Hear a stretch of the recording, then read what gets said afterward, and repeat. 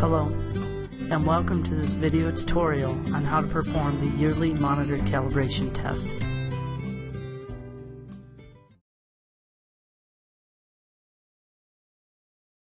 To accomplish a yearly conformance test, please ensure you have the puck and the XCal software. Note that there are two different types of pucks. You'll only need one for the testing. Please call the tech support line if you do not have a puck or you do not see the XCal icon on your desktop. Please ensure that if you are using the X-Rite puck, that the lens cap swivel is rotated to expose the lens. If the test is run with the lens cap on, the ending result will be a failure.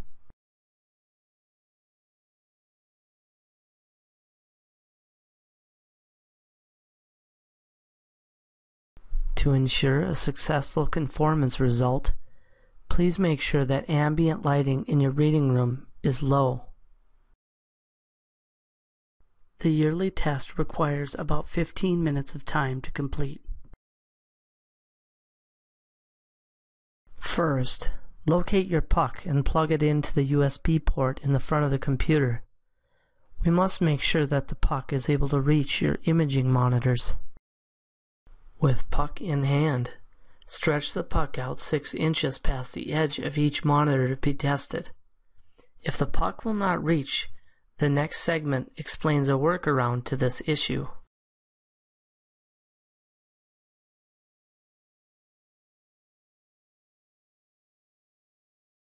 If your puck is not able to reach, locate the USB cable shown here. This cable was packed with your monitors when you received them from VRAD. One end of this cable plugs into the computer, while the other plugs directly into the back of your monitor. This process will enable your monitor to become a USB bus, which allows you to plug USB devices into it. At this point, you can plug your puck into any open USB port on this monitor.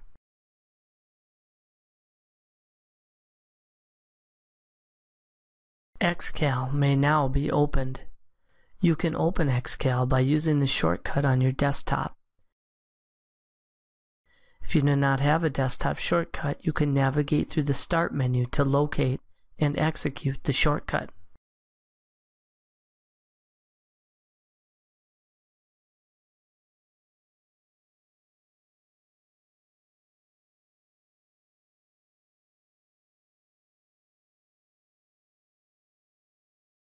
The first test we need to run is the white level calibration. For some monitors, this testing cannot be done automatically. To determine monitor capability, simply verify if your monitor's serial number begins with C592. If your monitor serial numbers do not begin with this string, please click the link in this video to be redirected to the manual white level test. Upon completion of that test, please return to this point in the yearly video. For anyone having monitors beginning with serial number C592, please continue from here. We must make the following changes within the XCal menu. First, select the monitors using the upper checkbox in the left pane. Next in the Tests menu, we will check the white calibration checkbox. Again within the Tests menu, we will check the External Sensor checkbox. In the drop-down menu, we must choose the appropriate selection for the puck you are using. For Verilume pucks, choose Chroma 5, and for the X-Rite puck, choose the I1D3 option. Finally, at the bottom of the XCal window, we will click Run to launch the test. We see a testing square appear on our first reading monitor. Each puck has a small puck weight included, which can slide down the puck's cable to the desired position, which is directly on top of the monitor. You'll need to tilt the monitor backwards so that the puck sits flat on the monitor into the middle of the testing square.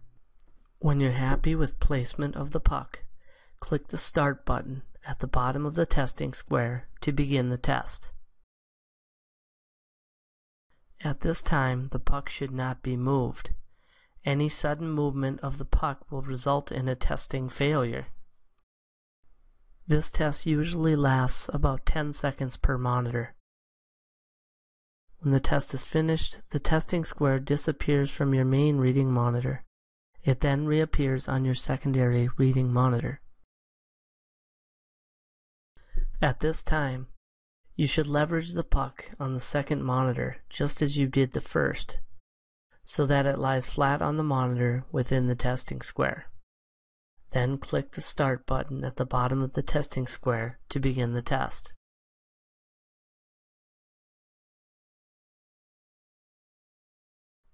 With our white level test completed, we will now run the DICOM calibration.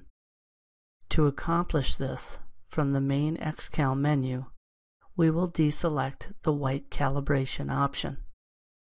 We will then select the calibration checkbox and the conformance checkbox. Finally, click Run to begin the test. Again, we see a testing square appear on our first reading monitor.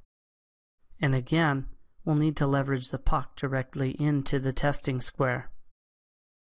When you're happy with placement of the puck, click the Start button at the bottom of the testing square to start the DICOM calibration. Just as we did in the first test, make sure the puck is not bumped or interrupted at this time. This test will take about 5 minutes per monitor to complete. When the first monitor has finished, the square will move to the second monitor to be tested. Reposition the puck on this monitor and click Start in the testing square to continue the test.